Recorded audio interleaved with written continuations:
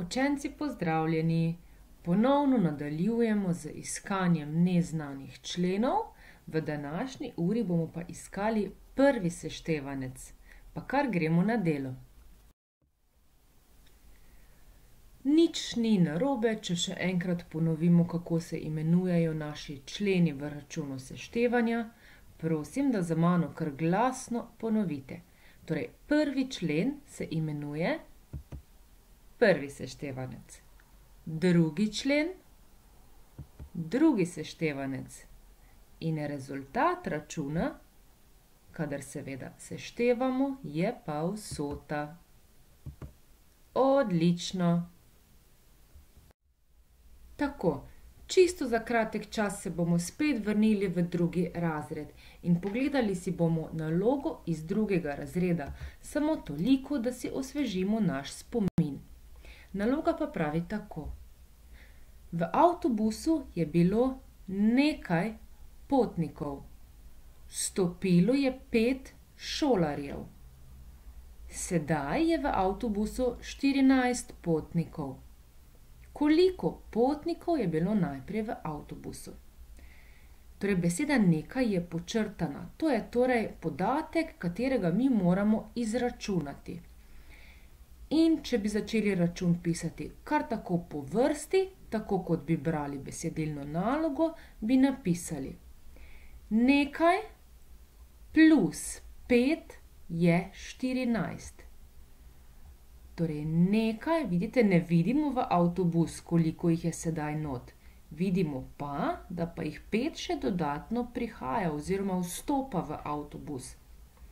Nato pa na drugi fotografiji vidimo, da je skupaj štirinajst potnikov. Torej nekaj plus pet je štirinajst. In mislim, da je to čisto enostavno za izračunati. Torej, koliko plus pet je štirinajst? Devet. Ali če bi si pomagali z računom odštevanja, bi lahko rekli: štirinajst minus pet je devet. Tako, poglejmo še en račun. Nekaj plus trinajst je petinštirideset. Ali koliko plus trinajst je petinštirideset? Oboje je pravilno. Ali namesto tega okvirčka rečete nekaj ali pa koliko. In tale prazen okvirček je nas, naš neznani člen, torej prvi seštevanec. Tole mi moramo izračunati. Torej, koliko plus trinajst je petinštirideset? Povedali smo, da si lahko pomagamo z računom odštevanja. Petinštirideset minus trinajst pa je, vas počakam, da boste lahko izračunali, dvaintrideset. In še eno nalogo sem pripravila. V tej vreči je nekaj bombonov, pravzaprav jih je toliko, da jih ne morem prešteti, saj se prekrivajo med seboj. Torej v vreči je nekaj bombonov. V to vrečo bom dodala še dvanajst bombonov. Sedaj jih je skupaj šestintrideset. Torej nekaj plus dvanajst je šestintrideset.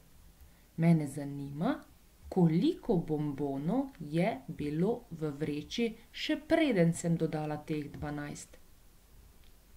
Torej, tukaj se vam je prikazal račun, koliko plus dvanajst je šestintrideset. Rekli smo, lahko si pomagamo z računom odštevanja in to bi rekli šestintrideset minus dvanajst in rezultat je štiriindvajset. Torej v vreči na začetku je štiriindvajset bombonov. Tako, sedaj pa bom jaz prebrala besedilno nalogo, vi pa poskušajte na drugi strani glasno povedati račun. V vagonu je bilo nekaj potnikov. Ko je vstopilo še devetnajst potnikov, je bilo v vagonu dvainštirideset potnikov. torej nekaj, na to jih je vstopilo še devetnajst in potem jih je bilo dvainštirideset. Glasno povejte vaš račun. Kako bi zapisali račun?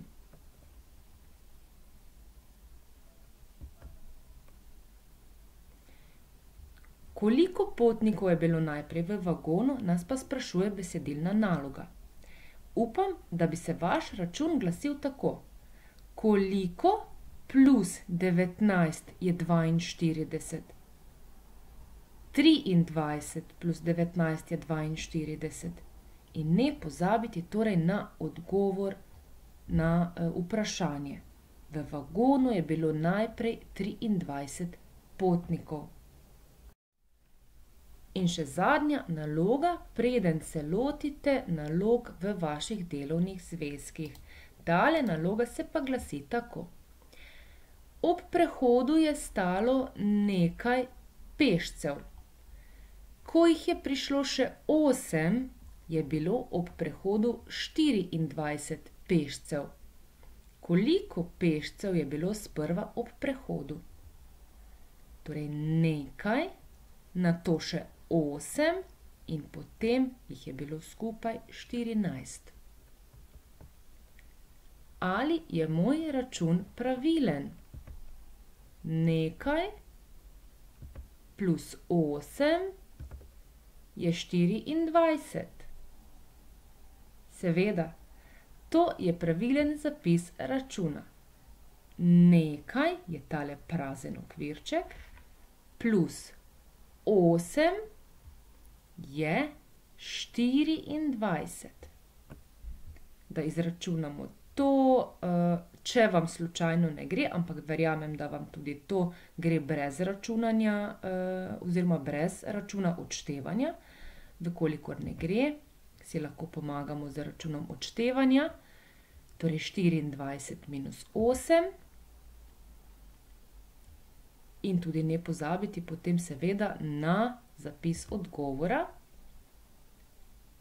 Sprva je bilo na prehodu torej šestnajst pešcev. Odlično nam je šlo. In še seveda nasveti, preden se lotite nalog v vaših delovnih zvezkih. Pazi, da račun pravilno nastaviš. Torej pazi, kje stoji tisti nekaj. V kolikor ne bo šlo računanje tako na pamet, si lahko v tem primeru sicer pomagaš z računom odštevanja. Ali pa samo, da preveriš, če si izračunal pravilno. In zelo pomembna zadeva, ne pozabi na zapis odgovora pri besedilnih nalogah. Tako, prišli smo do konca te projekcije, tudi danes vam želim obilo uspeha pri delu.